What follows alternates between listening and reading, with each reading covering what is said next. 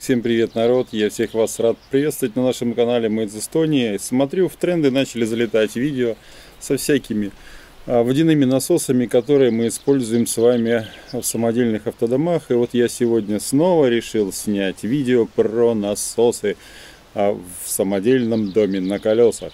Я надеюсь, что всем понятно, да, что если купить вот такой насос и поставить себе в самодельный автодом, то проблемы с водой у вас никаких не будет. Данные насосы очень хорошо себя зарекомендовали. Работают они, работают они очень тихо, э, практически без шума, э, качает э, давление, то, которое у них заявлено. Данного насоса 20 PCI, это примерно где-то полтора бара. Э, очень хорошо включается, выключается. То есть здесь в нем есть реле, даже можно немножко подкрутить, но регулировка очень-очень-очень маленькая, там порядка там вообще там очень маленькая, то есть совсем маленькая. То есть даже там полбара нет в регулировке. Вот. Но стоят такие насосы недешево, они, ценник начинается где-то от 70 евро и выше. Поэтому такие насосы мы сегодня рассматривать не будем, а попробуем сделать с вами водяную систему с, практически бесплатно. Будем сегодня делать водяную систему на основе вот такого насоса для а, дворников, да, для стеклоочистителей в обычном автомобиле. И на основе вот такого вот насоса это погружной насос, продается на Алиэкспрессе, цена меньше 10 долларов его. И производительность у него 800 литров аж заявлена, и на 5 метров в высоту он может поднимать воду 12 вольт. Вот на основе двух вот таких насосов давайте сегодня попробуем сделать с вами систему, водяную систему и посмотрим, как они будут работать. А вместо водяного бака у меня будет вот такая канистра. Сейчас из этой канистры я сделаю водяной бак и поставим насос. Вот. Э, данный насос ставится в самый, самый низ емкости. Сверлите отверстие. Сейчас давайте сразу сразу просверлим.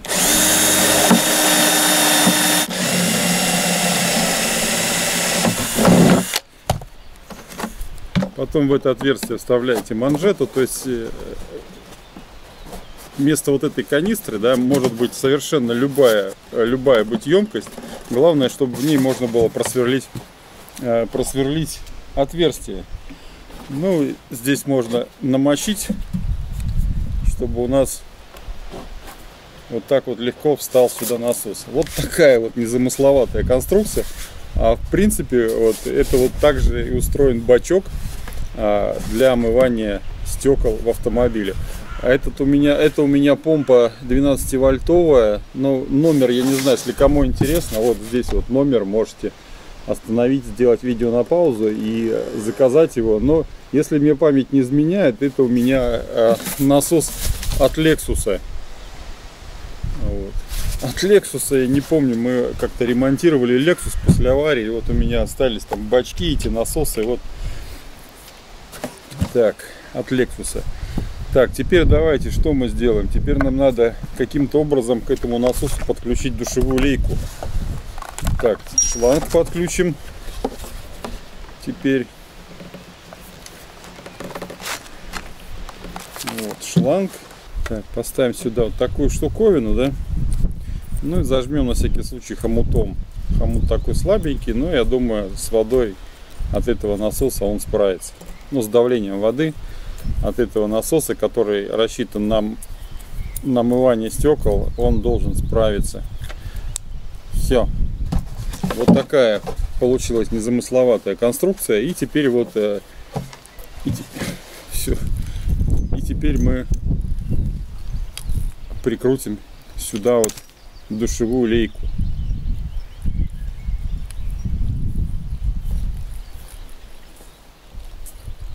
Все. Надеюсь, у нас теперь ничего не потечет. Наливаем теперь сюда веси или ватер, или воду, кому как удобнее. Ой-ой-ой-ой-ой. Рукожоп. Половину на стол пролил. Ну давайте теперь смотреть, что у нас получилось и будет ли у нас достаточно, достаточно давления, чтобы, чтобы помыться, например. Просто тупо помыться.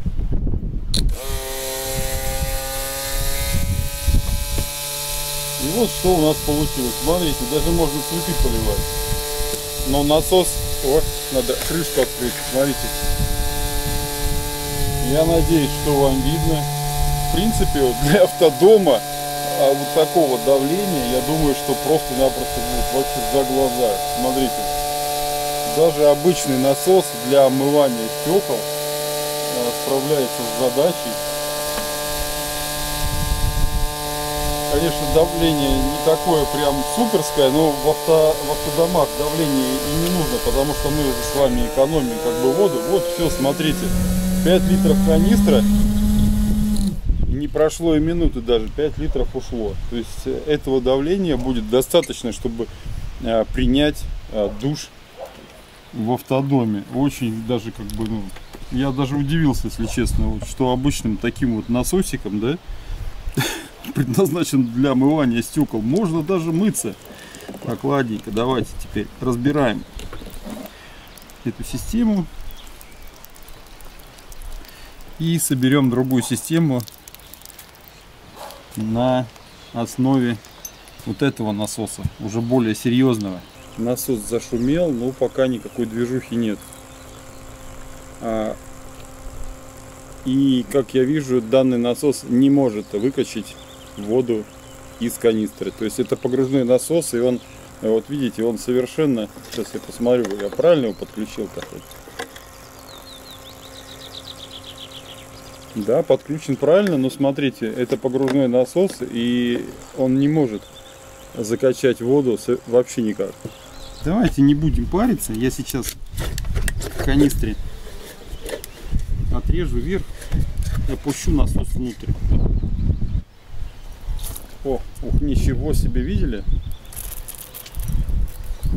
Смотрите, в принципе, а, струя не намного больше, чем у насоса, который для омывания стекол, да, зато слушайте, как он тихо работает. Его вообще под водой не слышно. То есть производительность у них примерно одинаковая. Вот смотрите, струя точно такая же. Вот такая струя и уже больше чем половина канистры ушло. То есть, если вы хотите сделать в своем самодельном автодоме, как бы душ, да, или там раковину, можно даже не искать какой-то там насос, вот, машины, да, там, а, а купить на Алишке вот самый-самый, все, кончилось, все, кончилась вода, и после этого он немножко громче заработал, но пока он там качает воду, пока он там лежит в канистре, очень тихо работает. Я прям как бы рад за этот насос. Как можно приспособить данный насос в канистру? Думаю, с этим проблем не будет. Также сделать э, ввод в канистру а можно сбоку, да, то есть у вас насос будет, в принципе, не там полоскаться, да, а также можете сделать ввод через вот такую вот резиновую а, манжету. Или же, если горловина позволяет, то можно насос открутить горловину, пройти горловину даже какой-нибудь муфтой или просто отверстие, опять же с резины, тогда придется как-то еще делать отверстие для того, чтобы у вас канистра не сдувалась. То есть ну, нужно, чтобы был э, воздух, э, подача воздуха обязательно, иначе она у вас сдуется. Давайте подведем итог. То есть, если вы хотите себе серьезную систему а в автодоме, чтобы у вас все работало без каких-либо там нареканий, и хотите в эту систему подключать там всякие нагревательные бойлеры, а, и чтобы у вас, ну, газовые колонки там люди ставят, нагреватели воды посредством воздуха, автономки. То есть там ну, сейчас вариантов превеликое множество. А от двигателя, если будете теплообменником греть или там вибасту подключите, да, вот, греть можно по-разному, но вот если вы будете использовать в своей системе какие-то вот э, элементы, да, которые, которым нельзя э, долгое время быть отключенным от воды, да, или там, чтобы не было у них перебоев с водой, то есть, чтобы они не испортились, используйте насос. Э, вот, ну, начинаются цены, я говорю, где-то порядка, наверное, 70 евро и выше. Если же вам не нужна супер-пупер система, и у вас обычный такой самодельный дом на колесах, в котором, в котором все просто, простенько сделано, нет никаких там супер-пупер а, нагревательных приборов, кроме какой-нибудь трубы, которая греется там от солнца. Мы, например, когда едем отдыхать в теплые края, а, ну, на улице температура, температура окружающей среды порядка 30-40 а, градусов. В машине и того теплее, потому что машина днем частично стоит на солнце, она нагревается. Ну и, соответственно, в баке вода тоже нагревается. И она нагревается где-то, ну, так же, как и окружающий воздух. То есть 35-40 градусов в баке вода нагревается. И необходимости греть воду вот в теплых странах у меня никогда не было. То есть даже, знаете, хочется так охладиться немножко водой, чтобы она была не горячая. Вот пришел там вечером, да, встал, вот рано темнеет на югах, да, встал прямо около машины, душик развернул, леечку там. Нас она прям вот э, с кухонного модуля выдвигается, шланг вот. И этой леечкой быстренько там встал на резиновый коврик, сполоснулся, оделся и пошел спать. То есть вот так. Мы летом а, внутренний душ, который у нас есть, мы практически не используем, если только каких-нибудь там днем, если да, там надо что-то помыть или там ребенка там ополоснуть. То есть э, только используем вот так. А если самим вечером обмыться, я даже не парюсь, я около машины, темнеет и рано, вырви глаз на югах, так что встал, становлюсь и моюсь. И воду я никогда не грею. Так что если вы хотите на своей машине просто путешествовать летом, а, там месяц, там, грубо говоря, там в году, я бы вам вообще не советовал заморачиваться по поводу всяких нагревательных приборов. Вот, ставьте обычный вот насос недорогой, вот мембранные не ставьте маленькие, знаете, вот которые, они жужжат, как вот есть, есть есть вот такие же насосы, только китайские. Там всякие, я не помню уже, Сиафло или Серфло, как они там называются, я уже не помню, такие оранжевые. Есть оранжевые, есть еще дешевле, там они просто черные, но они тарахтят безбожно. Вот, такие я вообще не советую их как бы ставить. Если хотите нормальный мембранный насос, покупайте именно вот такой насос. Он работает очень-очень тихо. Его практически вообще не слышно. Если интересно, сейчас могу подключить. Вот. И просто вот какой-нибудь купите какой-нибудь погружной насос вот такого типа. Или же есть они такие, знаете, продолговатые. Как раз вот продолговатый, наверное, в, даже в горлышко влезет. Вот. Стоят они порядка 10 баксов. И я думаю, вот видели, да, все струю Э, будете мыться без проблем. То есть а, сделайте какую-нибудь сделайте какую-нибудь кнопочку. Эти насосы, хорош, эти насосы хороши чем, что а, если у вас будет даже кран закрыт, и вы включите этот насос, ему ничего не будет. Он просто будет маслать в холостую и все. Как только вы а, хотите помыться, да, вы нажимаете, например, кнопочку, у вас начинает работать насос, вы открываете кран и все, и пользуетесь точно так же, как и дома. Вот, нет никаких проблем, то есть если вы закрыли кран, насос не сгорит. Сразу говорю, вы закрыли кран, выключили кнопку. Или же можно как-то это все автоматизировать. Я думаю, что всем все понятно. То есть можно обойтись малой кровью, 10 баксов за насосы и не париться. Вот пару канистр, там 20 поставить, одну а, с чистой водой, вторая канистра с серой водой и пользуйтесь на здоровье. Давайте, если интересно, покажу, как работает насос. Вот этот. Так, подключаем насос. Так, сейчас он прокачает.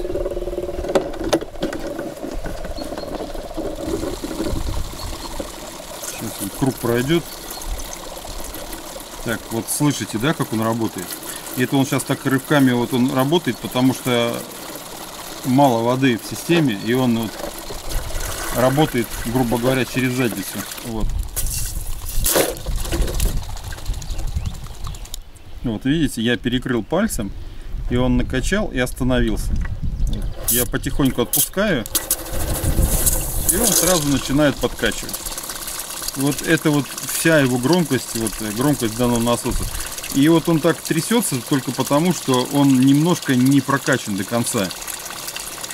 Как только он прокачается, он будет работать прям вообще ровно. Но вот у него, видите, вот немножко струя вот играет, как бы, потому что чтобы, если хотите, чтобы была ровная струя, вы должны еще подключить гидро, ну, гидробак или какой-то расширительный бак небольшой.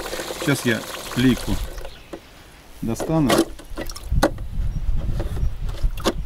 и покажу, как он, какая струя от этого насоса, чтобы вы примерно понимали. насколько есть ли разница или нет разницы у этих насосов. Вот, давайте так. Смотрим. Струя практически ничем не отличается, что у этих дешевых душманских насосов, что у этого. Но я говорю, что к этому насосу а, нужен гидробак. И с гидробаком он, вот эта струя, она так не пульсирует, и он работает тогда уже немножко по-другому. С данным насосом в комплекте идет вот такой вот фильтр. Вот видите, там даже а, мусоринка да, попалась. Вот, стружка, когда я просверлил этот канистру, туда стружка внутрь попала, и вот э, она попала в фильтр. Фильтр идет с этим насосом в комплекте, то есть это очень удобно. Вот. И вот я немножко расскажу, как он работает. Он у меня работает в моем автодоме. Я его снимал на зиму, еще не поставил. И он у меня подключен к э, гидробаку. Вот. Э, гидробак на 2 литра. И знаете, такие есть э, домашние, большие, там есть там на 15 там, литров, на 20, на 50, там, а у меня на маленький такой, на 2 литра, там тоже есть ниппель, который через помощью, при помощи этого ниппеля можете накачать, давление какое вам нужно. Вот там уже оно рассчитывается в зависимости от производительности насоса. Вот, и когда он работает э, совместно с этим гидробаком, э, струя из лейки идет ровная, и давление у него получается не такое вялое, как сейчас вот было, да, например, как у этих дешевых насосов, а у него давление, ну, давление такое э, через гидробак получается немного получше. И когда вы утром, например, ну или как, и когда вы включаете немножко кран, насос э, сразу не реагирует, он примерно выжидает, пока давление в системе упадет на полбара и только после этого начинает подкачивать. То есть вы даже можете открыть кран, даже умыться или помыть тарелку, прежде чем а, включится насос на подкачку. То есть он постоянно, постоянно мониторит давление и если надо он подкачивает, если не надо он не подкачивает. Единственное, что у этих, на, у этих насосов есть такая небольшая как бы такая проблема, да, но не именно у этих насосов, а вообще есть такая небольшая проблема, если у вас где-то в вашей системе будет небольшая утечка, где-то в кране там будет кран капать, или там душевая лейка, или еще где-то какая-то утечка вот а, при соединениях, да, то насос будет постоянно давить потихоньку, да, вот он постоит какое-то время, потом трррр, поработает опять, постоит, трррр, поработает, если у вас такая вот тема есть, да, значит у вас где-то в системе утечка. И надо смотреть лужа, где вот у вас, и там ликвидировать. И если у вас утечка, например, шланг оторвался, насос начинает работать, и пока у вас там ваш бак там на 50, на 100 литров, на 200 литров не кончится, насос не перестанет работать, если у вас он всегда включен. А если у вас он включается также с кнопки, прежде чем открыть кран, вы включите, ну или там с утра, например, да, или там вот вы пришли в автодом, вам надо попользоваться водой, вы включили кнопку, попользовались, и только после этого, как попользовались, вы снова кнопку нажали отключили. В таком а, варианте как бы ничего не будет, все будет нормально. Но вот есть такая вот фишка, да, знаете, что если у вас система постоянно находится под давлением, и насос это давление мониторит, если в случае какой-либо утечки вся ваша вода окажется на полу. Все. А, на этом я буду заканчивать данное видео. Если вам было это видео полезно или интересно, ставим пальчики вверх. Если у вас есть какие-то вопросы еще по системам, по насосам, как сделать э, систему э, в самодельном автодоме водяную, э, пишите в комментариях. Если я знаю ответ на этот вопрос, я всегда вам отвечу или направлю туда, где знают ответ на ваш вопрос. Все. А у меня на сегодня все. Увидимся в следующих видео. Всем пока. Пока-пока.